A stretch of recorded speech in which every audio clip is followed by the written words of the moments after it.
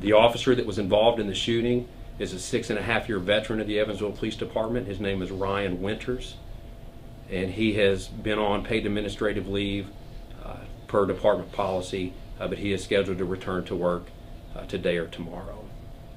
A subsequent search of the car that Mr. Fingers had fled from officers in revealed 18 grams of synthetic cannabinoids, a box of baggies, a digital scale, and a loaded 380 handgun in the car.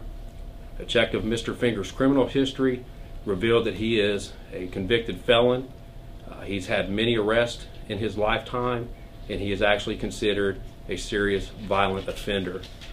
Uh, it is our belief that this arrest has the potential uh, to put him in prison for the rest of his life.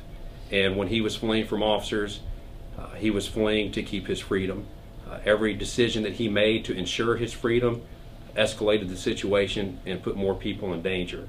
Uh, the officer uh, that fired the shot uh, was the person that was forced to end Mr. Fingers' actions that night. That gets us to the point of the investigation into the shooting.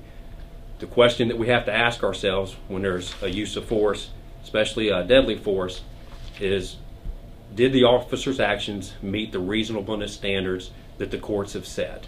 The reasonableness standards say that the action of the officers have to be considered reasonable by other police officers who were in those situations facing those same circumstances.